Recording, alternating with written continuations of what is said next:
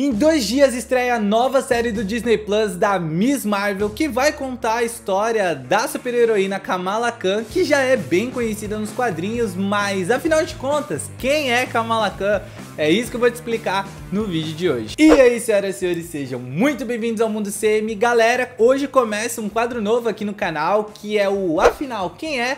Onde eu pego um personagem que você quer saber mais e eu trago um vídeo curto explicando sobre a pessoa. E se vocês gostarem desse formato de vídeo, deixa aqui nos comentários quem é o personagem que vocês querem saber mais da história, que eu trago um vídeo mais curto explicando sobre ele, beleza? Então agora sim, sem enrolação, bora lá! Mesmo que a Kamala Khan ela seja conhecida como a Miss Marvel nos quadrinhos, esse título no início não pertencia a ela. Obviamente esse título pertencia a Carol Carol Danvers, que assumiu o título em 1976 como Miss Marvel, mas em 2012 ela deixou esse título para lá e se oficializou como Capitã Marvel. E aí sim, a nossa querida Kamala Khan assumiu o título de Miss Marvel. Então de lá pra cá ela acabou conquistando muitos fãs, principalmente por conta da sua origem, afinal de contas ela é a primeira protagonista muçulmana dos quadrinhos e também por conta da sua família ser bem religiosa e ela morar em Nova Jersey, então rola todo aquele lance de religião,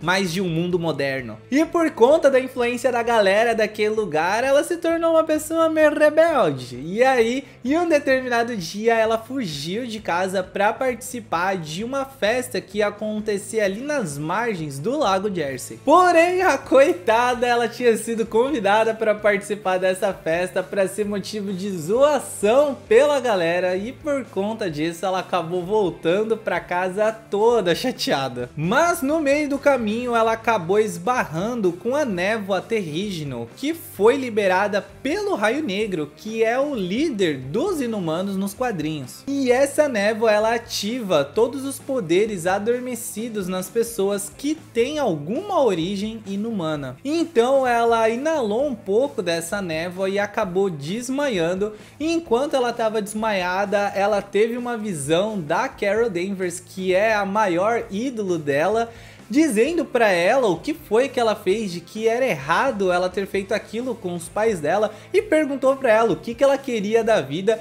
e ela disse: eu quero ser como você. Então, quando ela acordou, ela estava vestindo o traje da Carol Danvers na época que ela era Miss Marvel e por conta da sua vontade de ser ela, que estava ali no seu subconsciente, a transformação mudou o rosto dela para ficar exatamente igual a Carol Danvers. Mas por conta da mudança brusca na aparência dela, isso assustou ela e fez o corpo dela ficar em constante mudança até ele entender qual forma assumir. Enquanto ela estava passando por esse processo, ela viu a amiga dela, Zoe, que estava caindo no lago quando ela tentava afastar o amigo bêbado dela. Então de forma inconsciente, ela simplesmente estica o braço e pega a amiga, impedindo ela de se afogar. E assim ela finalmente descobre os poderes dela. E em falar em poderes, ela tem uns poderes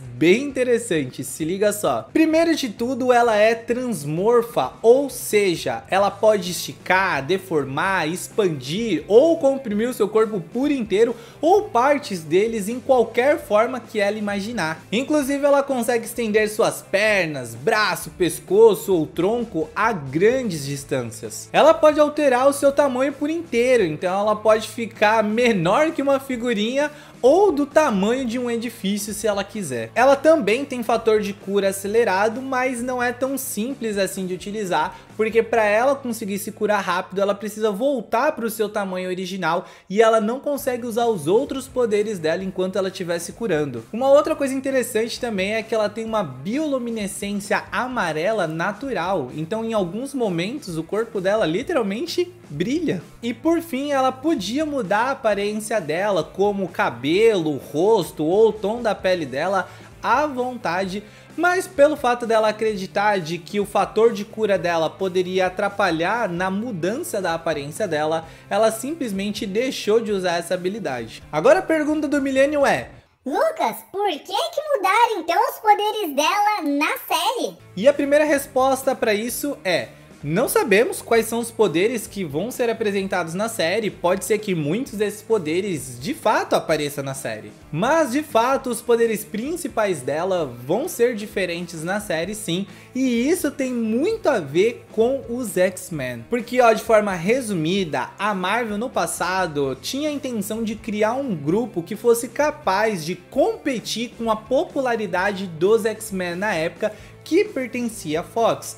Para isso, eles criaram os Inumanos. Porém, os Inumanos patinaram dali, patinaram daqui. A Marvel tentou forçar os Inumanos para conseguir bater a popularidade dos X-Men, mas no final das contas acabou flopando mesmo. Então, com a recente aquisição da Disney na compra da Fox, os direitos dos X-Men passaram para eles. Então agora a Marvel pode utilizar os X-Men dentro do CM. Então seria uma ótima maneira de desvincular Kamala Khan, que é uma personagem muito popular nos quadrinhos dos Inumanos, e associar ela aos X-Men. Nos quadrinhos não tem muito o que fazer, ela de fato é uma Inumana e ponto final. Mas no UCM eles podem adaptar os poderes dela para ficar algo mais parecido com os X-Men para quando eles colocarem os X-Men de vez dentro do CM, eles possam incluir ela lá dentro como um membro. Mas de verdade, pessoal, eu não acredito que essas mudanças vão interferir em algo na série, porque se os poderes dela fossem igualzinho aos quadrinhos seria apenas por puro fanservice. Agora, o que realmente importa é a história que vão desenvolver para ela dentro da série. E olha, a galera que já teve a oportunidade de assistir os dois primeiros episódios da série tá falando de que a série tá realmente incrível, principalmente por conta da atuação da atriz Iman Velani, que tá fazendo uma atuação assim fora de série, tanto que a própria história da série tá uma história muito coerente, tá uma história muito legal e prazerosa de ver. E isso tudo a gente vai descobrir quarta-feira agora, no primeiro episódio de Miss Marvel. E, obviamente, quarta-feira agora, às 7 horas da noite, tem vídeo novo aqui no canal, fazendo uma análise completa do primeiro episódio, com tudo que ele quis nos mostrar, todas as referências, easter eggs. Então eu vou estar tá te esperando quarta-feira agora, às 7 horas, hein? E se você ainda não faz parte da nossa família, meu, eu te convido a se inscrever no canal, porque aqui eu te deixo atualizado de tudo que tá rolando no mundo da Marvel e vai ser um prazer gigante ter você aqui nos próximos vídeos. E pra você que já faz parte da nossa família, obrigado de coração por você ter me acompanhado em mais um vídeo. Ó, um abraço apertadíssimo em cada um de vocês. Te vejo quarta-feira, hein? Fica ligeiro. E tchau!